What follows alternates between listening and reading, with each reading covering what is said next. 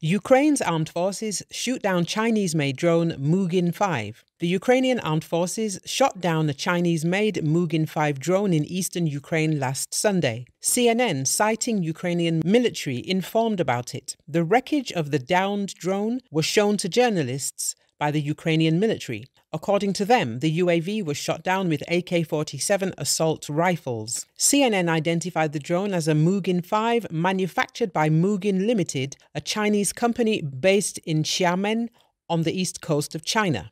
These UAVs are also known as Alibaba drones because they can be purchased for up to 15,000 US dollars on Chinese online platforms Alibaba and Taobao. The company confirmed that it was their drone and called the incident deeply unfortunate. Security Service of Ukraine informed that Ukrainian agents in the occupied territory had warned them that a UAV had been launched from there. After that, the Security Service of Ukraine alerted military units based in eastern Ukraine near the city of Slovyansk. At about 0200, soldiers of the 111th Brigade of the Territorial Defense Forces heard a drone overhead and even saw a warning light flashing on the aircraft. The soldiers opened fire and shot down the drone. According to information, the drone was flying at a very low altitude. A bullet hole was visible on the nose of the downed vehicle.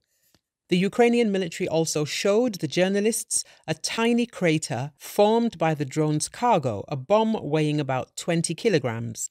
A spokesperson for Mugin Limited told that the company does not condone such use and is trying its best to stop it. In a statement posted on the company's website on the 2nd of March, Mugin Limited said it condemns the use of its products during military operations and said it stopped selling products to Russia or Ukraine when the war began.